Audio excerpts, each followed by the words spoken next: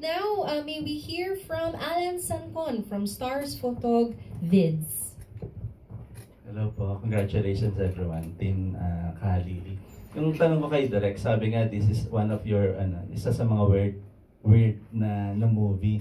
Ano yung pinaka-weird, curious lang po kami na nagawa mo dun sa mga eksena na medyo nahirapan ka personally. Aside dun sa, sinabi mo, challenging yung yung isang scene na orgy. Pero ano yung pinaka-weirdest apart from that? Yung mga sexy um, na-challenge din ako sa yung unang love scene ni Milen at ni ano ni Sid na parang sineseduce niya na habang nakapiring si ano si Sid. Kasi po um, sa totoong buhay nakasulat lang sa sa script nun na sinulat ni Juvie, nakasulat lang po doon, it's a weird, weird sex. so ngayon, parang ngayon, kailangan naming, ano, uh, kailangan naming buhayin po. So, ayun ang medyo, plus one of the first natin yun eh, di ba, na ginawa dun sa bahay. So, ayun po, doon po nagkaroon ng, ano, doon, doon po yung medyo um, challenging part po. Aside from that, yung, ay na nga po, yung orgy po. Tanong ko lang direct, sinong mas madaling i-direct? Yung mga baguhang katulad ni Steph at Victor or katulad ni Mercedes at ni Sid na medyo talagang mga batikang artista na? Mas na-challenge ka direct? Um, iba po din kasi ibang fulfillment po, pero kung kung sa dali, edi syempre sa veterano. ano madali, di ba? sila Mercedes, tsaka sila, sila Sid. Bigyan mo ng konti, ito, ito lang kailangan natin, magbibigay na sila ng ano. Pero syempre, um, yung mga mas mas bago, bibigyan po namin ng pagmamahal um, at magpapa-workshop, ganyan po, um, na ano naman, buong puso naman nila atin dahil pagpa-participatean. And ayun po, talagang susubukan po namin pigain ng mapipiga sa kanila po. Before kay Steph, tanong ko lang si Victor. Sabi nga ni ano ni Phoebe, parang every Pasko nandun ka, di ba?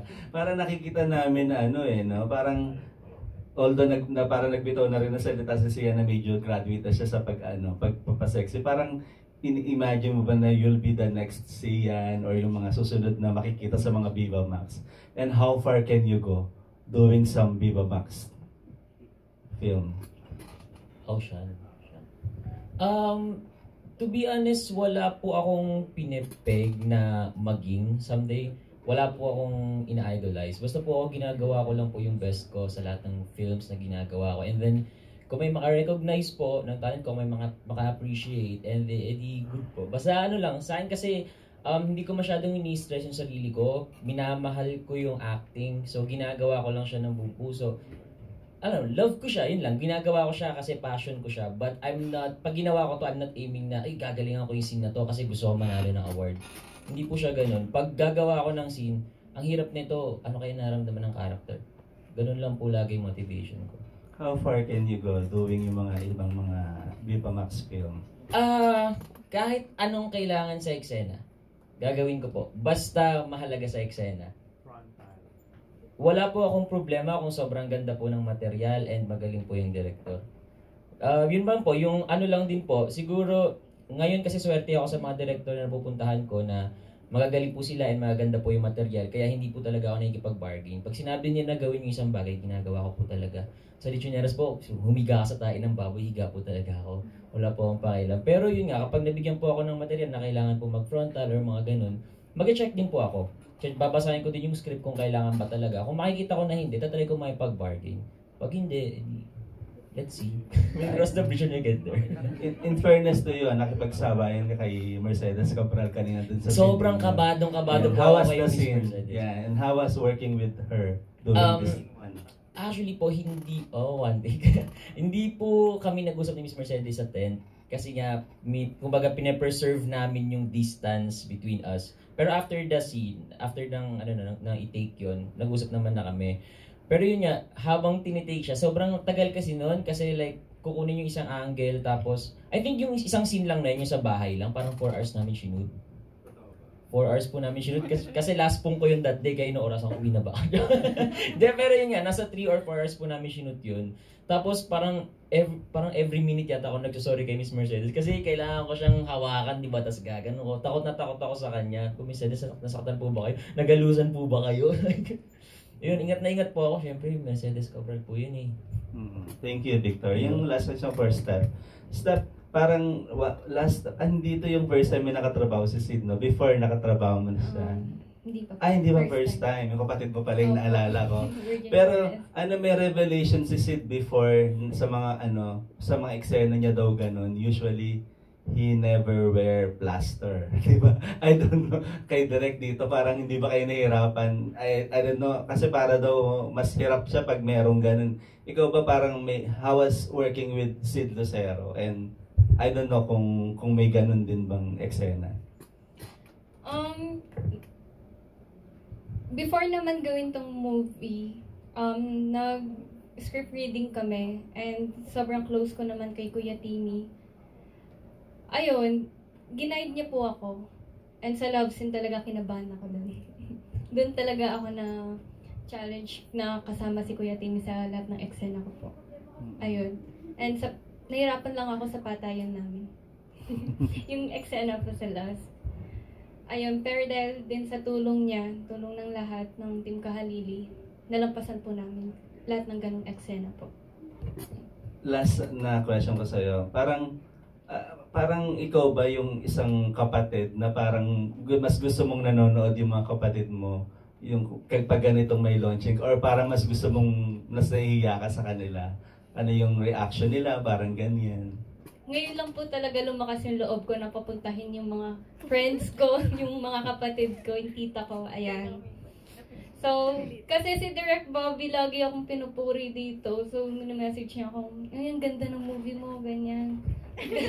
so, nahiya ako. So, sabi ko, sige, i-judge nga ng mga kapatid ko, ng mga friends ko, kung paano po ako umacting. And kung nabigay ko ba talaga yung best ko dito. Ready ka sa criticism nila. Yes, after. ready po ako. Last na lang, weirdest thing na ginawa mo sa lahat ng weird na ginawa mo dun sa eksena. Ano yung pinaka-weird na nahirapan ka?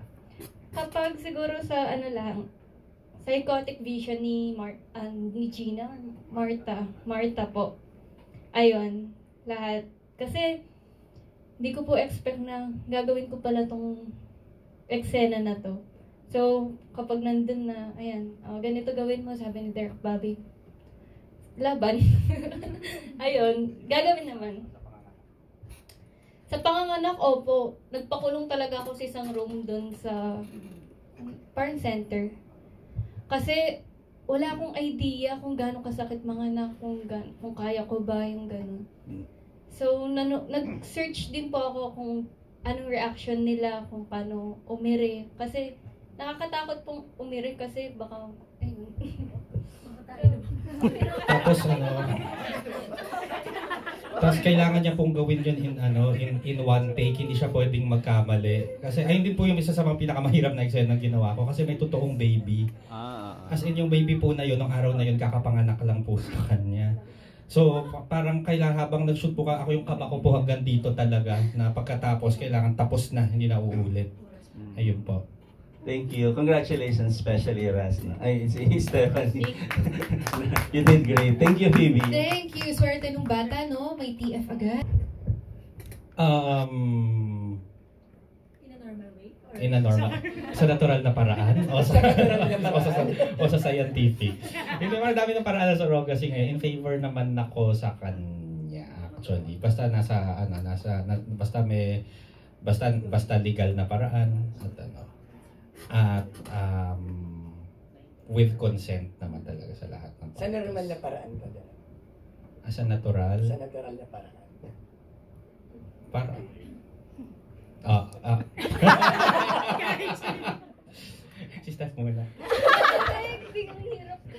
Yeah, kasi in our country, being a Catholic, we do not condone surrogacy, diba? So sa inyong personal na mga opinion, okay ba kayo sa surrogacy? In a natural way. Yeah, actually, oh, hindi ko pwede gawing legal. Yeah, oo, oo naman. Pero kasi sabi kasi yung na- natural na magkakanks talaga yung ano. Ah, parang um, medyo medyo delik delicts, Del- delikado baka ma- baka magkaroon ng emotional attachment kasi. So, ayun, ayun lang yung ano, ayun lang yung side ko. Mm. Yes, Steph? Ganun din question. Oo. Ganun din po yung sagot. Ganun din po yung sagot. De, joke lang.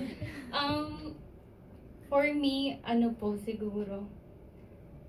Ayun nga, kung gaya ng sabi ni Derek, kung legal dito sa Philippines, okay, pero kailangan pag-usapan ng maigi talaga. Kung gagawin yung ganitong bagay. Ayun po. Victor.